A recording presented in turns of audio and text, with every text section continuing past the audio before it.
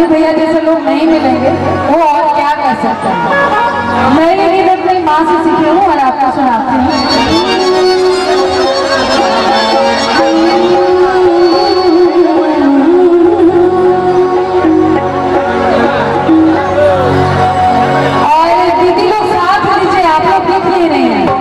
दिख नहीं रहे हम देख नहीं पा रहे। भैया लोग नहीं दिखता।